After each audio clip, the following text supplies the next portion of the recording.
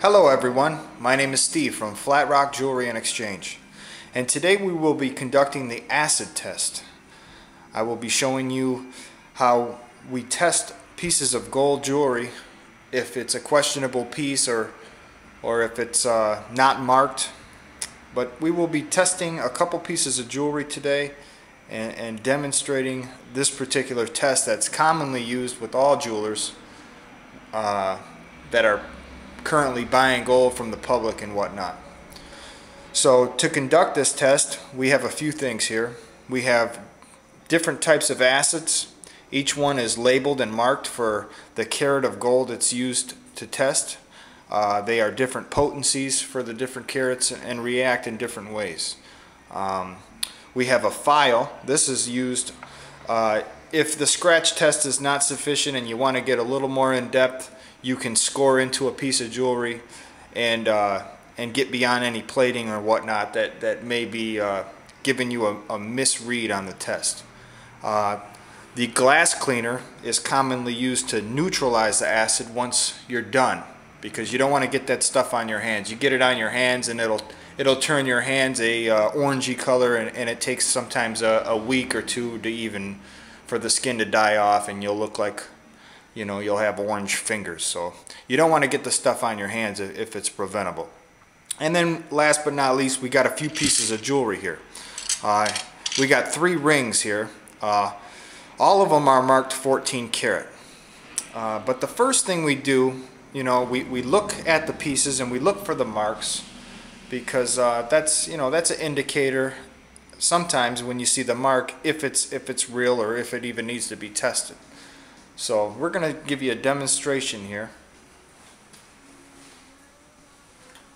As I said, they're all marked. Uh, we use a loupe here to find the marking. And on this loupe we have a magnet because if you didn't know, gold and silver will not stick to magnets. So the first thing we do when we're looking at jewelry is we'll go across the pile or the pieces with a magnet to see if they stick. That one doesn't stick. That one doesn't stick. And that one does. So right now, I'm to save myself a little bit of time and I'm not even to test this. This piece is sticking to the magnet like glue. It's obviously not real gold. So we're to set that one off to the side right now and we're not to waste any more time with that piece. But these two, which are both marked 14 karat, and neither one is sticking to the magnet. Uh, but to be safe, instead of just buying the pieces, I'm, I'm going to test it. I'm going to do the acid test for our demonstration today. So, we take a ring and we scratch it on the stone like this. And you want to get a good scratch on there. Okay, set that off there. This one here we're going to scratch as well. And notice, you know, sometimes you'll test five, six pieces at a time, so you'd want to line them up accordingly with the scratches. It's just easier to determine what's what. And since they're marked 14 karat, I'm going to use the 14 karat acid to test them. No sense in using any other test since they're both marked 14. So take the acid and you just give a nice little streak going across the stone there. This is an Arkansas stone. Different, different quality. This is a better one. And as you see here, what happened is with this acid, get in a little closer here, the chemical reaction for proper 14 karat gold would be that it doesn't disappear. Where the acid hits on the scratch, it would stay gold and it would stay um, it would stay on the stone. So you see the piece on the left here, on the stone, the acid did not disappear. Or I should say the scratch did not disappear. But the one on the right where we scratched it, where the acid hit, it disappeared. It disappeared right away. So that would, that would uh, lead me to believe that the piece on the right is not gold at all and the piece on the left is.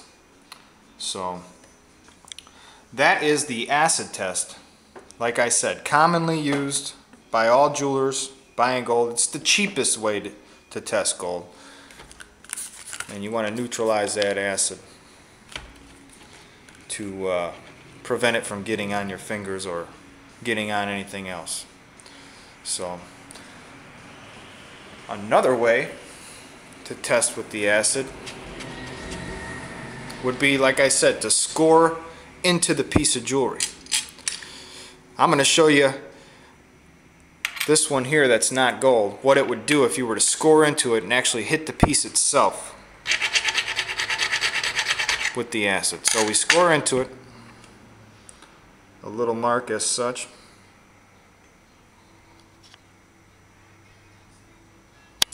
Zoom in here a little bit.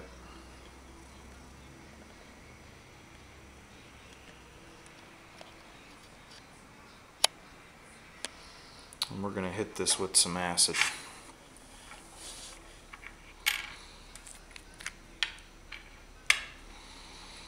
Again, the 14 karat acid. And you see it's smoking and it's lighting up green like a Christmas tree. Clear indication this is not gold.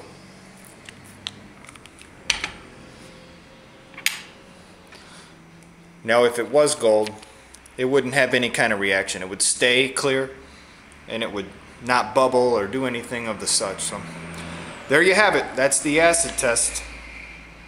And thank you for watching.